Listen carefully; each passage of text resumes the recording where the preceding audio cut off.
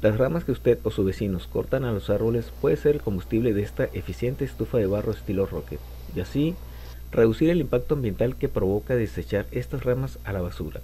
Muy útil en casos de emergencia para acampar o simplemente economizar.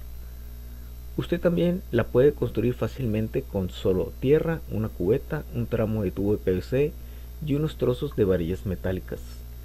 Yo reemplacé la cubeta por dos mitades de cubetas y el tubo de PVC por dos botes cilíndricos de plástico. Cada quien se adapta a lo que tiene. El procedimiento que seguí es sencillo, solo cerré la tierra y agregué agua. Amasé como si fuera a hacer tortillas de harina o pizza, dejando el lodo con una textura similar a la de la plastilina. Armé el molde, lo rellené con el barro y dejé reposar. Al día siguiente retiré el molde interno. Inmediatamente con un cuchillo le di forma a lo que sería la entrada de la estufa. Inserté las varillas para dar forma a un cenicero.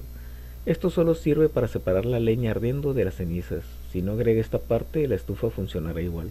La volteé y utilicé un sartén para darle forma a la parte superior, de tal manera que este sartén quede lo más estable posible, y así reducir el riesgo de un accidente.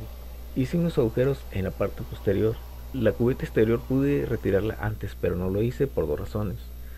Con la primera estufa que hice, quité prematuramente los moldes y la parte de abajo se compactó y se hizo más ancha y chaparra. Y otra razón es que una lluvia me la estropeó, así que me aseguré que la misma cubeta que usé como molde me sirviera de forro protector. En el mercado puedes encontrar estufas de este estilo a la venta y de diferentes modelos. Te recomiendo visitar la página de donde saqué la idea y mirar otra forma de hacerlo y con más detalle. Me despido con esta reflexión de Gandhi. En la tierra hay suficiente para satisfacer las necesidades de todos, pero no tanto como para satisfacer la avaricia de algunos.